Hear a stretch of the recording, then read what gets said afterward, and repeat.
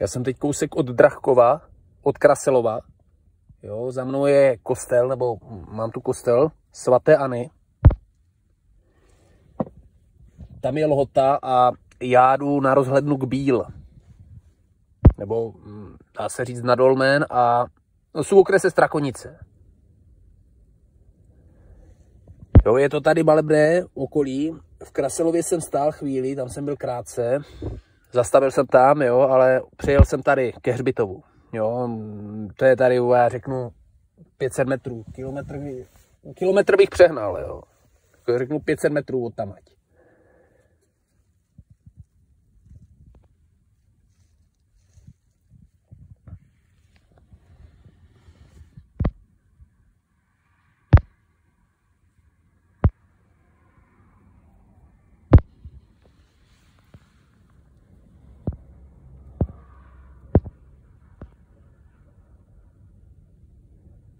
Jo, to, tohle je vlastně u Hřbitova, nedaleko od Kraselova, od Drachkova. Drach, Drachkov by tu měl být.